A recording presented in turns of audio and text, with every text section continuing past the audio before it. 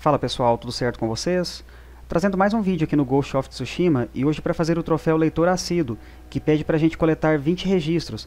No total existem 40, então nesse vídeo eu mostro a localização de todos.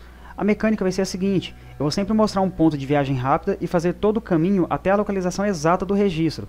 No entanto, alguns eu acabei pegando anteriormente sem estar com o mapa 100% liberado, então no vídeo, alguns eu não vou mostrar eu pegando efetivamente, mas vou mostrar o local exato, porque dessa forma eu consigo mostrar já com o mapa 100% liberado e facilita a comparação do meu mapa com o seu mapa, para você não ficar perdido, certo pessoal? Então espero que dessa forma eu consiga ajudar vocês, abração a todos, fui!